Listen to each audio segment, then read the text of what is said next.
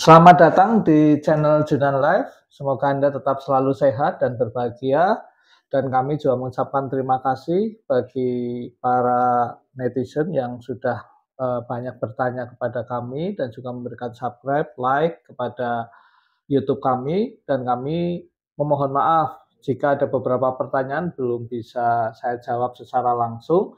Tetapi pada kesempatan kali ini saya akan merangkum beberapa pertanyaan untuk saya jawab dan semoga bisa sedikit mewakili dari uh, Bapak Ibu semua terhadap pertanyaan-pertanyaan yang belum bisa kami jawab dalam beberapa waktu yang lalu karena kesibukan dan juga agenda kami yang padat sehingga kami akan meluangkan sedikit waktu untuk bertanya.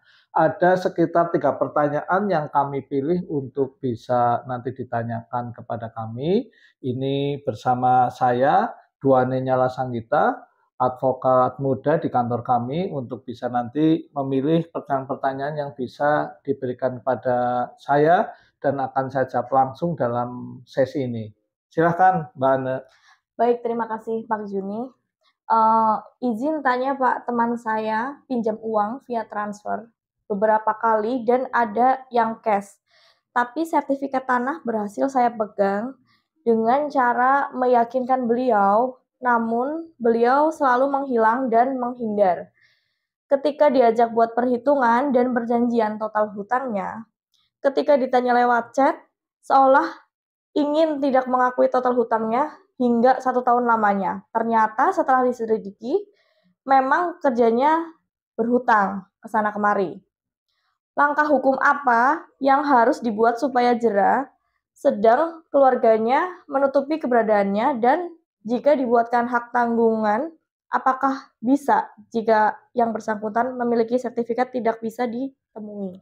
Baik, jadi terhadap pertanyaan ini saya akan menyimpulkan bahwa ini ada utang piutang. Apakah bentuk transfer ataukah secara cash itu tidak menjadi masalah kalau memang terbukti bahwa berapa jumlah hutang yang ada di dia. Kalau transfer ada bukti transfernya, jika cash ada bukti bukti kwitansi atau penyerahan uangnya. Bahwa jumlah ini, jumlah yang saya bayar ini sebagai utang piutang.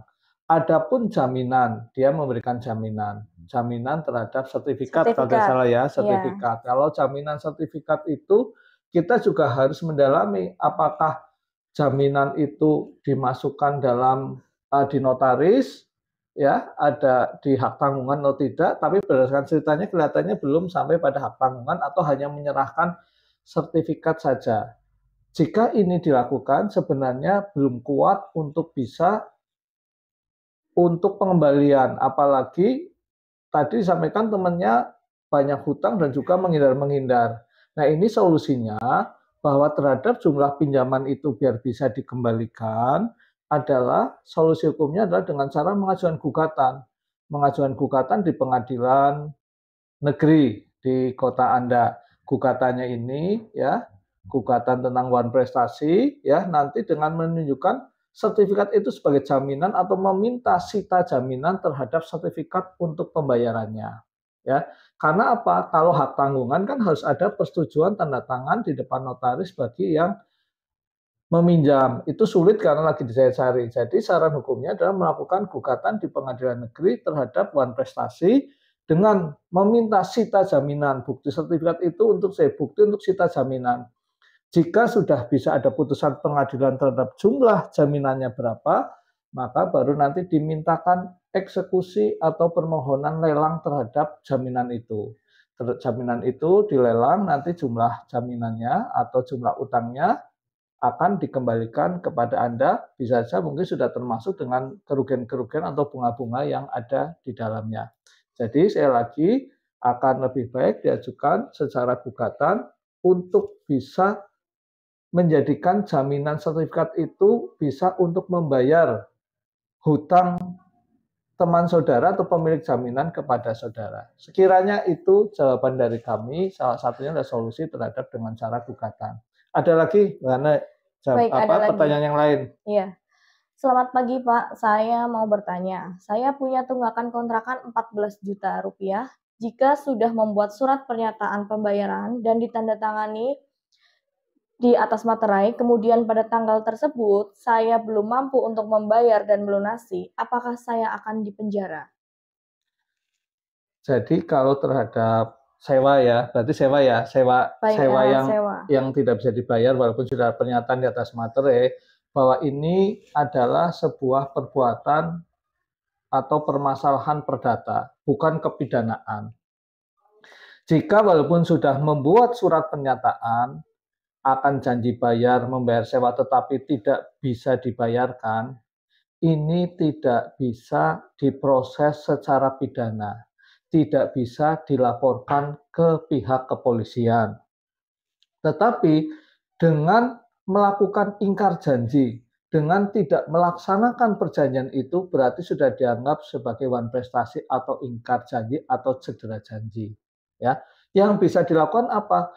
Apabila itu belum terbayarkan dan si pemilik rumah merasa keberatan atau memaksakan untuk bisa pembayaran, yang paling dilakukan juga sama, dilakukan dengan cara melakukan gugatan wan prestasi ke pengadilan.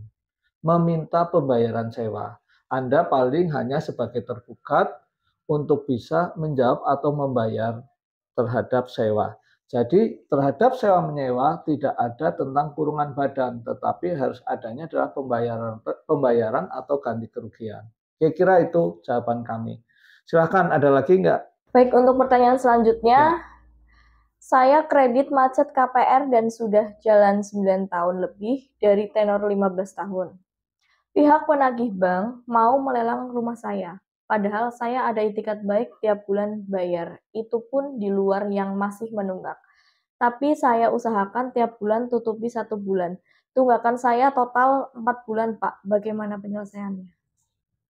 Ya, terima kasih. Ini memang yang sering terjadi pertanyaan-pertanyaan tentang lelang.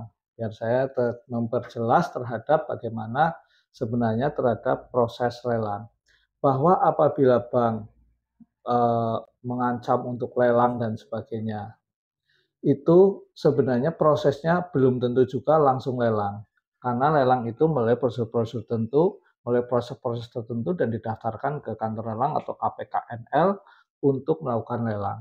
Jadi tidak serta-merta untuk dilakukan lelang. Jadi tidak usah khawatir bahwa kalau kita tidak bayar pasti langsung lelang. Tidak seperti itu, tetap ada prosedurnya. Memang di bank itu karena bank bermacam-macam, SOP-nya itu eh, apakah lelangnya kapan dilaksanakan, lelangnya dalam hal apa. Tetapi yang utama walaupun berbeda bank, lelang itu akan dilaksanakan jikalau memang ada pelanggaran perjanjian pelanggaran perjanjian kredit itu bisa dilihat dalam perjanjian waktu uh, Bapak Ibu tanda tangan uh, waktu kredit. Apakah kapan dilakukan lelang? Pada saat wan prestasi, ya biasanya pada saat wan prestasi atau ingkar janji. Di situ akan kalau jika nasabah melakukan wan prestasi maka bisa dilakukan dengan lelang. Nah, berdasarkan pertanyaan itu, masih ada itikat baik untuk membayar, ya apakah itu masuk dalam verifikasi atau tidak, seharusnya dari kacamata kalau sudah masih ada kemampuan membayar walaupun keterlambatan, itu masih belum masuk dalam prestasi. Ya. Tetapi untuk lebih jelasnya untuk membuktikan atau prestasi atau tidak, bisa bisa dibuktikan minta minta putusan pengadilan kalau nasabah mengatakan bahwa ini saya masih berniat baik, saya belum ingkar janji, belum cedera janji, maka sudah seharusnya bank tidak bisa melelang. Sedangkan di pihak lain bank mengatakan bahwa ini karena sudah empat bulan adalah investasi walaupun masih ada angsuran dan sebagainya. Jika dua hal ini tidak bisa dipertemukan, tidak bisa disepakati, tidak bisa menjadi solusi yang baik, maka nasabah bisa meminta hakim melalui gugatan untuk menyampaikan bahwa apa yang dilakukan oleh saudara adalah belum prestasi dan tidak seharusnya bank melakukan lelang. Jika itu dilakukan dengan cepat dan bisa diajukan gugatan, bisa juga menjadi dasar kepada kantor lelang untuk tidak melelang dulu karena sedang ada permasalahan. Semoga saja bahwa putusannya adalah betul-betul memang Anda belum investasi atau belum ingkar janji, sehingga bank tidak berhak untuk melelang. Prinsipnya, tidak semua nasabah itu harus mengikuti apa yang ada di kreditur atau perbankan. Harus dilihat dasar dari perjanjiannya apa. Sehingga di samping ada kewajiban, juga ada hak untuk mempertahankan, hak untuk bisa menjawab, hak untuk bisa mempertahankan rumah dari lelang, mempertahankan jaminan dari lelang, tidak serta-merta mengikuti saja ancaman untuk dilelang tanpa mengetahui hak-haknya. Tetapi yang paling utama lagi adalah membayar sesuai dengan kemampuan dan sesuai dengan apa yang diperjanjikan. Sehingga masa-masa lelang itu menjadi tidak ada ancaman kepada nasabah. Demikian jawaban dari saya. Semoga bisa bermanfaat. Saya kira itu ya Mbak Ane ya.